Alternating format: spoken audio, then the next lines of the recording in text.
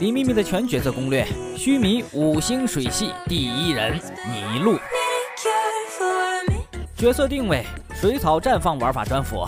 等级突破属性，生命值百分比，满级后可增加百分之二十八点八的生命值加成。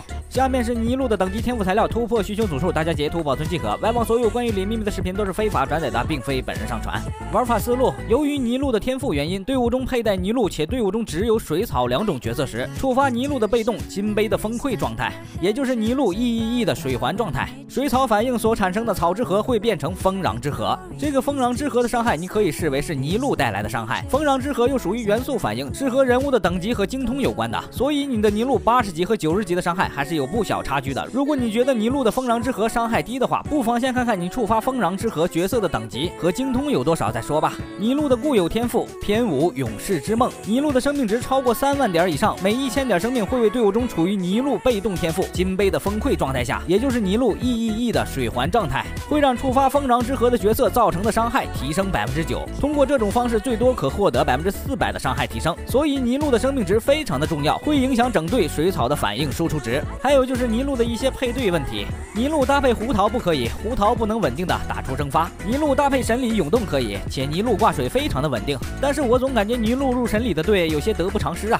角色缺点，配对太局限。队伍如果不是单纯的水草配对，尼禄可以发挥的作用基本减了一半。角色优点，肤白貌美，大长腿。水草的配对对群伤害不错，且不需要去怪角色。尼禄的天赋加点，纯辅助可以不加天赋，因为风狼之核的伤害是跟天赋没有一点点关系的。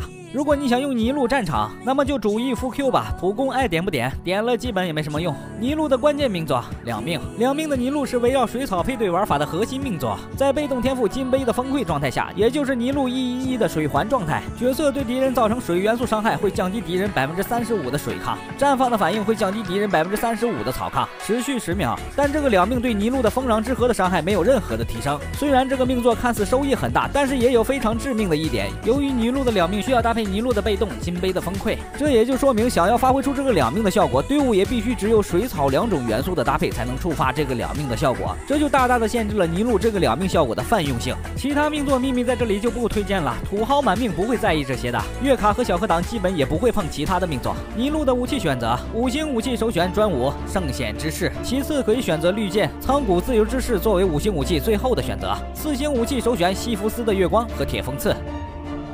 尼禄的圣遗物搭配，通用圣遗物就是两千岩加两乐团或者两十金，其次也可以选择两乐团加两十金之梦，当然四十金之梦也可以凑合用用。尼禄的圣遗物属性选择：沙漏选择生命的，杯子选择生命的，帽子选择生命的。尼禄的常规玩法圣遗物选择精通和生命副词条的。尼禄的合格面板，无专武和绿箭生命值在五万点以上，有专武和绿箭生命值在六万点以上。尼禄的双爆属性对于常规玩法不重要，所以李秘密在这里就不介绍了。尼禄的队伍搭配，由于当前版本上线的草角色过于稀。少，目前最推荐的尼禄阵容就只有一个，就是新海、尼禄、草主和克莱。平民一点的就是芭芭拉、尼禄、草主和克莱。这里李秘密再推荐一个涌动队，那就是神里、尼禄、迪奥娜、万叶。在这个队伍的尼禄挂水有多稳定，我想就不用我再阐述什么了吧。大号的芭芭拉呀，哎哎。最后要说的就是尼禄适配的队友还没有上线，要稍微等等后续的版本草水的新角色。好了，本期视频到这里就结束了。如果你觉得这个视频对你有一丢丢用的话，就不用给我点赞和关注了。我们下期再见，拜拜。